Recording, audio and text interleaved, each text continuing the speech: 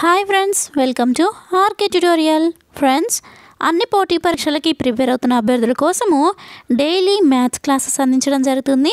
Friends ఈ క్లాస్లో కూడా లాభ నష్టాలు అనేటువంటి టాపిక్ పైన ప్రాబ్లమ్స్ ఏ విధంగా సాల్వ్ చేయాలి ఏ విధంగా సెకండ్స్లో ఆన్సర్ చేయాలి అనేటువంటి విధానాన్ని ఎక్స్ప్లెయిన్ చేయబోతున్నాను.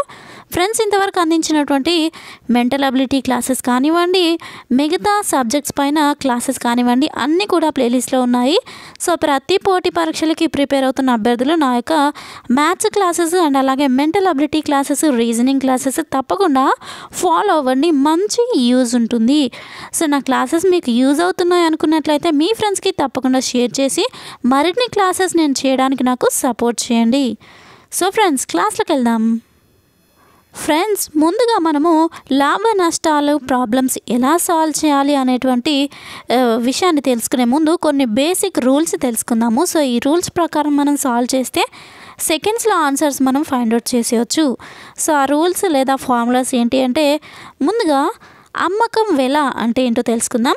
ఒక వస్తువుని ఏ ధరకైతే అమ్ముతామో ఆ ధరనే అమ్మకం వెల అంటారు. ఫర్ ఎగ్జాంపుల్ మనం ఒక టూ రూపీస్కి మన దగ్గర ఉన్నటువంటి ఒక పెన్నుని వాళ్ళకి ఇచ్చేసాం అనుకోండి సో వాళ్ళకు పెన్ ఇచ్చి మనము డబ్బులు తీసుకున్నాం అనుకోండి సో అది అమ్మినట్టు మనము ఆ యొక్క వెలని అమ్మిన ధర కింద కౌంట్ చేయాల్సి ఉంటుంది. సో దానినే అమ్మిన వేళ అంటారు. నెక్స్ట్ ఒక వస్తువు యొక్క అమ్మకపు వేళ కొన్న వేల కన్నా అధికంగా ఉంటే అమ్మకపు వెలకు కొన్నకు కొన్న వెలకు మధ్య గల తేడాను అంటే ఫర్ ఎగ్జాంపుల్ మనము ఒక టూ రూపీస్కి ఒక పెన్ను కొనుక్కున్నాము. సో దాన్ని ఇంకొక వ్యక్తికి నాలుగు రూపాయలకు దాన్ని మనము అమ్మామనుకోండి. సో అప్పుడు ఏమవుతుంది మనం కొన్నదాన్ని రెండు రూపాయలను అమ్మిన దాన్ని నాలుగు రూపాయలను నాలుగు రూపాయల నుంచి రెండు రూపాయలను మైనస్ చేయండి. సో అప్పుడు ఎంత అవుతుంది? రెండు రూపాయలు మిగులుతుంది. సో ఆ రెండు రూపాయలే మనకు లాభము అని అర్థం ఇక్కడ. సో నెక్స్ట్ నష్టం అంటే ఏంటో తెలుసుకుందాం. ఒక వస్తువు యొక్క అమ్మకపు వెల దాని కొన్న వేల కంటే తక్కువ అయిన పక్షంలో కొన్న వేలకు అమ్మకపు వెలకు మధ్య గల వ్యత్యాసాన్నే నష్టం అంటారు. సో ఫర్ ఎగ్జాంపుల్ మనం ఒక రెండు రూపాయల వస్తువుని కొనుక్కున్నాము. దాన్ని ఇంకొక వస్తువుని ఇంకొక వ్యక్తికి ఆ వస్తువుని ఒక రూపాయికే అమ్మామనుకోండి. సో అప్పుడు మనకు నష్టము ఒక రూపాయి కదా. రెండు రూపాయల నుంచి ఒక రూపాయి తీసేస్తే ఎంత? ఒక రూపాయి ఉంటుంది కాబట్టి. సో ఆ ఒక రూపాయి మనకు నష్టం కలిగింది కాబట్టి దాన్నే నష్టము అని చెప్పుకోవచ్చు. సో ఇప్పుడు బేసిక్ ఫార్ములాస్ కొన్ని తెలుసుకుందాము. లాభాన్ని కానీ నష్టాన్ని కానీ ఎప్పుడు దాని కొన్న వేళ ఆధారంగానే నిర్ణయిస్తారు. సో సూత్రాలు అంటే ఫార్ములాస్ తెలుసుకుందాం. లాభము ఈక్వల్స్ టు అమ్మకపు వెల మైనస్ కొన్న వెల లాభాన్ని కనుక్కోవాలంటే అమ్మిన వెలలోంచి కొన్న వెలని తీసివేయాలి. నెక్స్ట్ నష్టం కనుక్కోవాలంటే కొన్న వెలలోంచి అమ్మకపు వెలని తీసివేయాలి. లాభ శాతము కనుక్కోవాలంటే లాభము బై కొన్న వేల ఇంటూ హండ్రెడ్ చేయాలి. నెక్స్ట్ నష్ట శాతం కనుక్కోవాలంటే నష్ట శాతము ఈక్వల్స్ టు నష్టము బై కొన్న వేల ఇంటూ హండ్రెడ్ చేసినట్లయితే మనకి నష్ట శాతం వస్తుంది. నెక్స్ట్ ఒక వస్తువు యొక్క కొన్న వేల మరియు లాభ శాతం ఇచ్చినప్పుడు అమ్మక వేల కనుక్కోమన్నారనుకోండి. సో అప్పుడు మనము వంద శా వంద ప్లస్ లాభ శాతము బై వంద ఇంటూ కొన్న వెల చేస్తే మనకి అమ్మకపు వెల అనేది వస్తుంది. ఫ్రెండ్స్ ఈ ఫార్ములాస్ మీరు గుర్తుపెట్టుకోండి. చాలా చాలా మోస్ట్ ఇంపార్టెంట్. ఎందుకంటే ఈ ఫార్ములాస్ ఏవైతే ఉంటాయో వీటిని బేస్ చేసుకొని మనము ఈ యొక్క లాభ నష్టాల ప్రాబ్లమ్స్ అనేవి సాల్వ్ చేయాల్సి ఉంటుంది. సో ఇక్కడ ఒక వస్తువు కొన్న వేళ మరియు నష్ట శాతము ఇచ్చినప్పుడు అమ్మకపు వేళ కనుక్కోమన్నాడు అనుకోండి. సో అప్పుడు వంద మైనస్ నష్ట శాతము బై హండ్రెడ్ ఇంటూ కొన్న వేళ.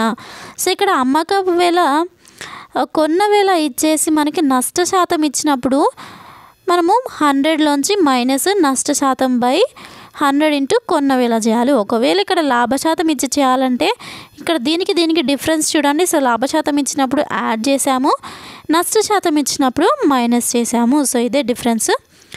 నెక్స్ట్ అమ్మకపు వేళ లాభశాతం ఇచ్చినప్పుడు కొన్న వేళ కనుక్కోమంటే కొన్న వేళ ఈక్వల్స్ టు వంద బై వంద ప్లస్ లాభ శాతము ఇంటూ అమ్మకపు వేళ చేయాల్సి ఉంటుంది. నెక్స్ట్ అమ్మకపు వెల నష్ట శాతం ఇచ్చినప్పుడు కొన్న వెల ఈక్వల్స్ టు వంద బై వంద మైనస్ నష్ట శాతం ఇంటూ అమ్మకపు వెల. సో ఇంతకుముందు అమ్మకపు వెల లాభ శాతం ఇచ్చినప్పుడు మనము ఇక్కడ డినామినేటర్లో యాడ్ చేయడం జరిగింది. వంద ప్లస్ లాభ శాతము నెక్స్ట్ అమ్మకపు వెల ఇచ్చి నష్ట శాతం ఇచ్చినప్పుడు హండ్రెడ్ మైనస్ చేసాము సో మీకు ఒక చిన్న ట్రిక్ అనేది చెప్తాను ఇక్కడ నోట్ చేసుకోండి. ఈ ఫార్ములాస్ కనుక మనకి ఈజీగా గుర్తుండాలంటే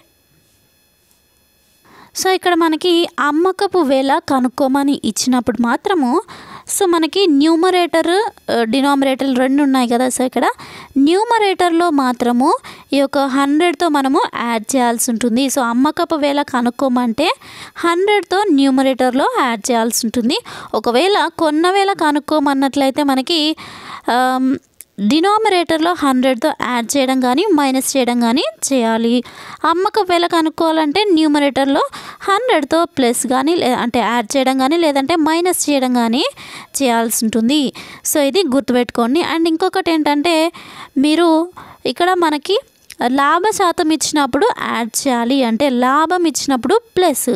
లాభం అంటే ఏంటిది? ఎల్. సో ఎల్ అంటే ప్లస్. నెక్స్ట్ మనకి నష్ట శాతం ఇచ్చాడనుకోండి సో ఎన్ ఎన్ ఇచ్చినప్పుడు మనము మైనస్ చేయాలి. సో ఇది గుర్తుపెట్టుకోండి. ఇలా మీకు ఎల్ అని అంటే లాభం అంటే ఫస్ట్ ఎల్ వస్తుంది కాబట్టి సో ఎల్ అంటే ఇక్కడ మనకి దీనికి ఒక ఇలా పెట్టేసుకున్నాం అనుకోండి సో అప్పుడు ఇది ప్లస్ అవుతుంది. సో ఇలా మీరు షార్ట్కట్గా మీకు ఏ విధంగా గుర్తుంటుందో ఆ విధంగా మీరు మెమరైజ్ చేసుకోవచ్చు. నేను మాత్రము ఇలాంటి ట్రిక్స్ మీకు గుర్తుండడానికి చెప్తున్నాను. సో నెక్స్ట్ కొన్న వేళ ఈక్వల్స్ టు హండ్రెడ్ బై ఇక్కడ మనకి కొన్న వేల ఇచ్చినప్పుడు ఏం చేయాలని చెప్పాను? సో డినామినేటర్లోనే మనకి హండ్రెడ్తో యాడింగ్ కానీ లేదంటే మనకి ఇచ్చినటువంటి లాభ శాతం ఇస్తేనేమో యాడ్ చేయాలి. ఒకవేళ నష్ట శాతం ఇస్తే మైనస్ చేయాలి. సో ఇది గుర్తుపెట్టుకోండి.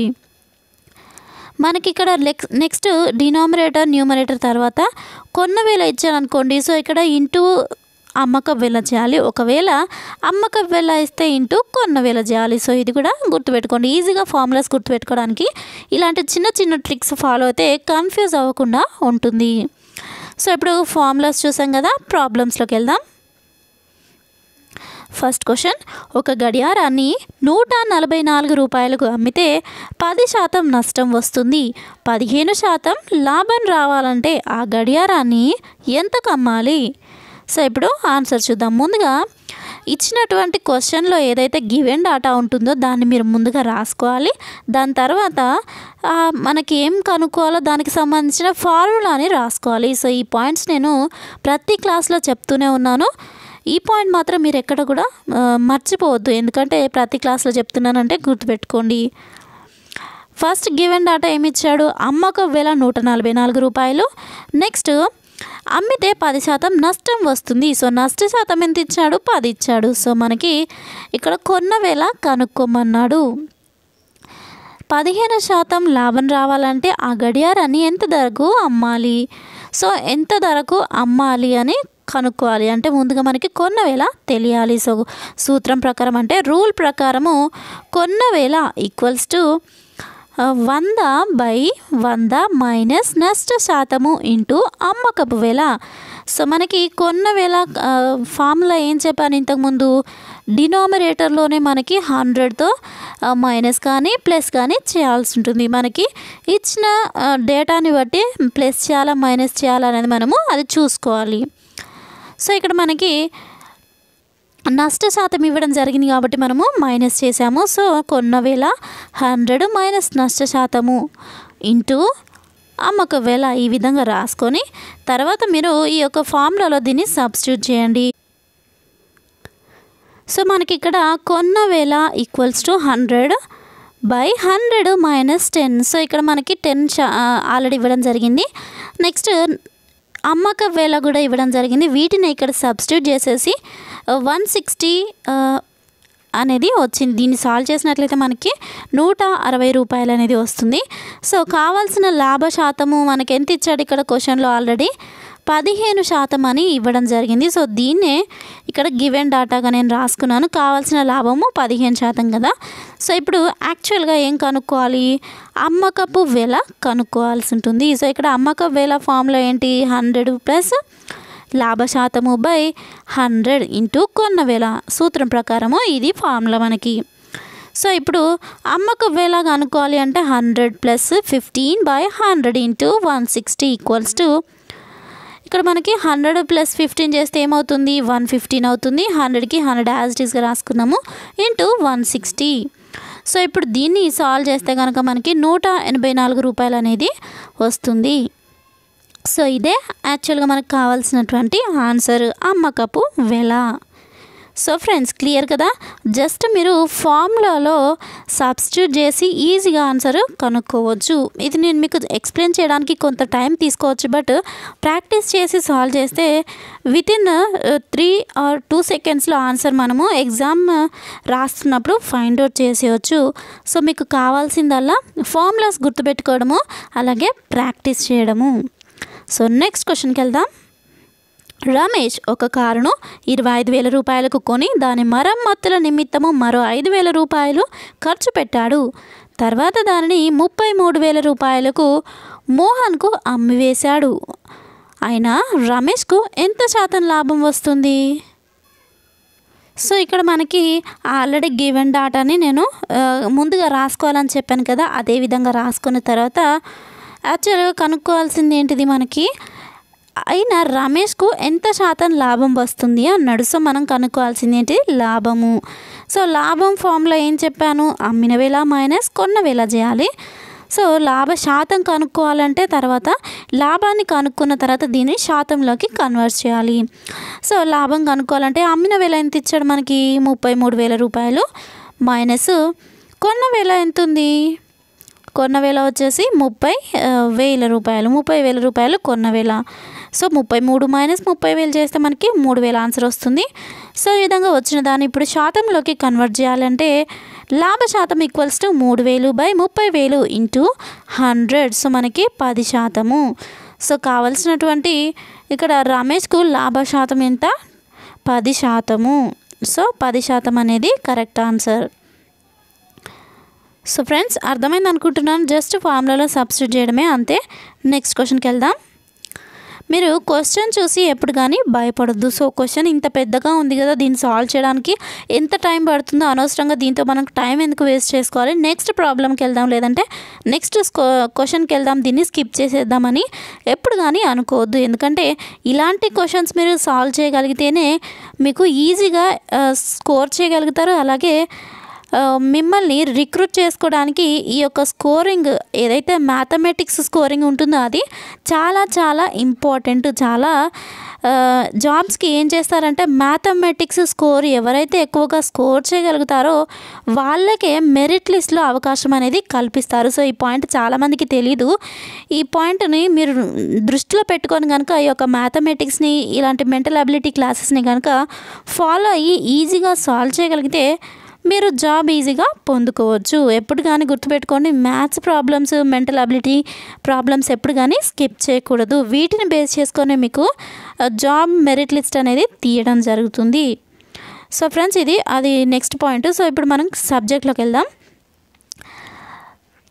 పది అరటి పండ్ల అమ్మకం వేళ పదకొండు అరటి పండ్ల కొన్న వేలకు సమానమైనప్పుడు అరటి పండ్లు అమ్మకం వల్ల ఎంత శాతం లాభం వస్తుందో కనుక్కోండి. సో ఇక్కడ మనకు ఒక అరటిపండు కొన్న వేళ ఒక రూపాయి అనుకోండి. ఫర్ ఎగ్జాంపుల్ నేను అజంప్షన్ చేసుకుంటున్నాను. సో ఇక్కడ పది అరటి పండ్ల అమ్మక వేళ పదకొండు రూపాయలని ఇచ్చాడు. కాబట్టి ఒక అరటిపండు వేళ కొన్న వేళ ఒక రూపాయి అనుకోండి. పదకొండు అరటి పండ్లు కొన్న వేళ ఎంత అవుతుంది? పదకొండు రూపాయలు అవుతుంది. కానీ ఇక్కడ మనకి పద అరటి పండ్ల అమ్మకం వేళ పదకొండు రూపాయలు పది అరటి పండ్ల అమ్మకం వేళ పదకొండు అరటి పండ్ల కొన్న వేలకు సమానమైనప్పుడు అని ఇచ్చాడు. సో అలా మనకి కన్ఫ్యూజింగ్గా ఉంది. ఇక్కడ క్వశ్చన్ చదివినట్లయితే మీకు కొంతగా కన్ఫ్యూజ్ అయ్యేటట్టుగా ఉంది. కానీ సో ఇక్కడ చూడండి ఎలా సాల్వ్ చేయాలంటే పది అరటి పండ్ల అమ్మకం వేళ ఈక్వల్స్ టు పదకొండు అరటి పండ్ల కొన్న వేళ ఈ విధంగా స్టేట్మెంట్ రాసుకొని తర్వాత లాభము ఈక్వల్స్ టు పది అమ్మక వేల మైనస్ పదకొండు పది పండ్ల కొన్న వేల సో మనం లాభం కనుక్కోవడానికి ఫార్ములా అమ్మక వేల మైనస్ కొన్న వేల కదా. సో మనకి ఇచ్చినటువంటి రెండింటిని మైనస్ చేసేసినట్లయితే అంటే అమ్మక వేలలోంచి కొన్న వేలని తీసేసినట్లయితే మనకి లాభం అనేది వస్తుంది. సో ఈ విధంగా లాభం తీసి లాభం ఎంత వచ్చింది మనకి తీసివేయగా? ఒక రూపాయి లాభం అనేది వచ్చింది. సో ఇవంతా గివెన్ డాటా నుంచి నేను ఈ ఒక ఒక రూపాయి అనేది కనుక్కున్నాను. తర్వాత లాభ శాతం కనుక్కోవాలంటే ఏం చేయాలి? ఒకటి బై పది. అంటే ఒకటి అంటే మనకి ఇంతకుముందు వన్ ఒక రూపాయి వచ్చింది కదా సో దాన్ని ఒకటి బై పది ఇంటూ వంద ఈక్వల్స్ టు పది శాతము. సో ఇక్కడ మనకి లాభ శాతం ఎంత వచ్చింది? పది శాతము. సో ఇదే కావాల్సినటువంటి ఈ యొక్క లాభ శాతము. అరటి పండ్ల అమ్మకం వల్ల ఎంత లాభ శాతం వస్తుందో అంటే పది శాతం. సో ఫ్రెండ్స్ క్లియర్ కదా? అర్థమైంది అనుకుంటున్నాను. నెక్స్ట్ క్వశ్చన్కి వెళ్దాం. ఒక పండ్ల వర్తకుడు పదిహేను కమల ఫలాలను పన్నెండు రూపాయలకు కొని డజను కమల ఫలాలను పన్నెండు రూపాయలకు అమ్మినచో అతనికి ఎంత శాతం లాభం వస్తుంది? సో ఇక్కడ చూద్దాం మనం. పదిహేను కమల ఫలాలు కొన్న వేళ పన్నెండు రూపాయలని ఇచ్చాడు.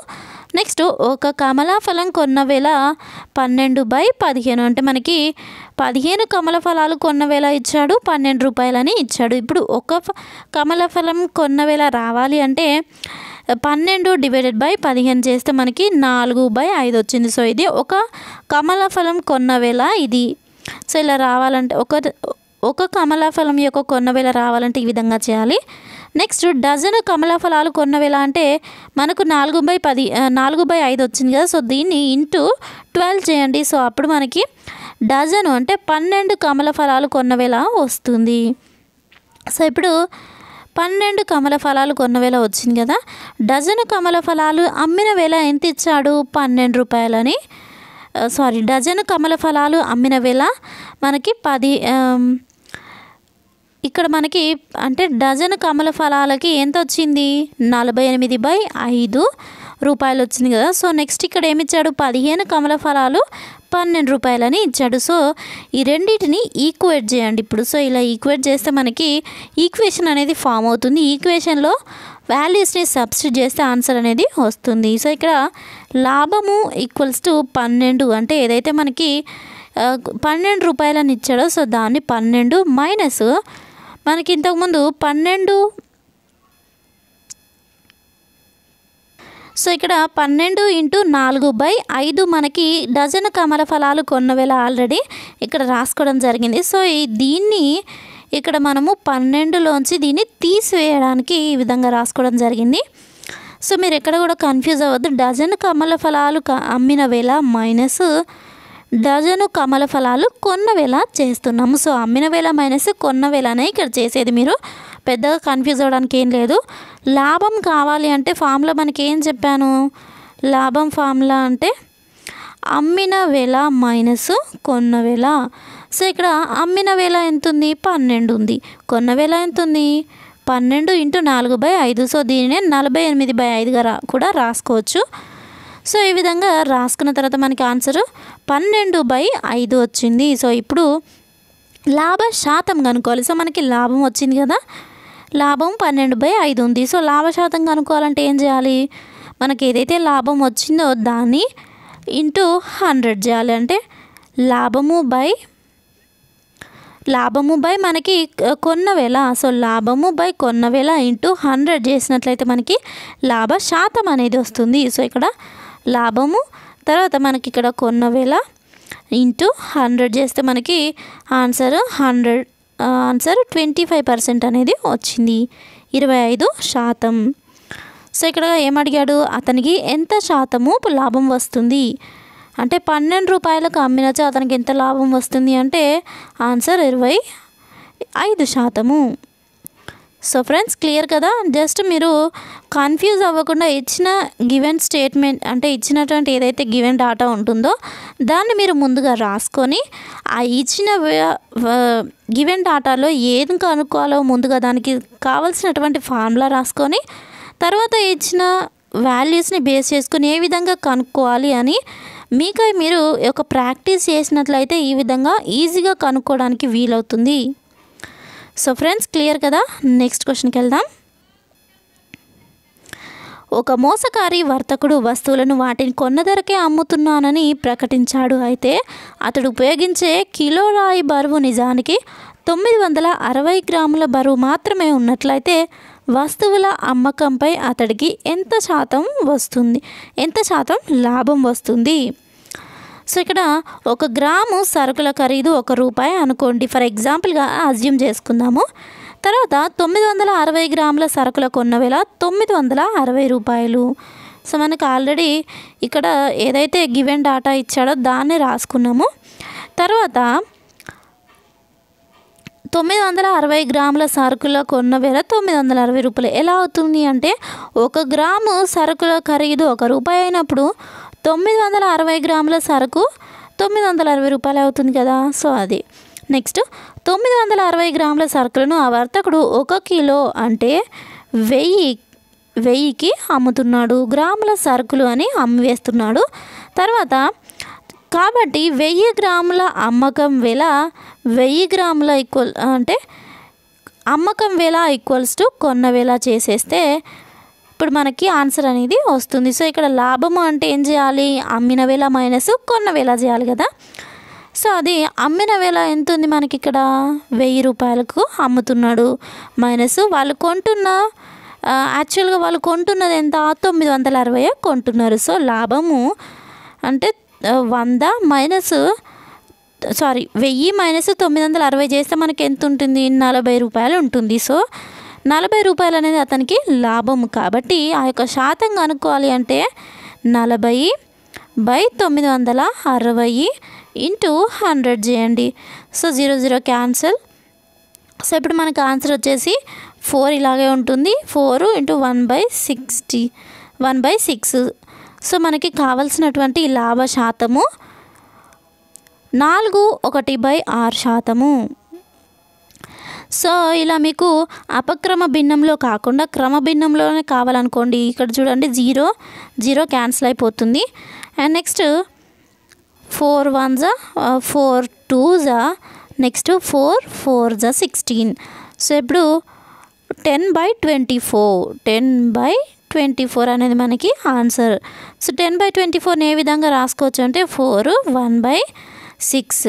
ఇది మనకి కావాల్సినటువంటి లాభ శాతము. సో ఫ్రెండ్స్ చూసారు కదా క్లియర్ కదా? ఎలాంటి డౌట్ లేదు మీకు ఇక్కడ.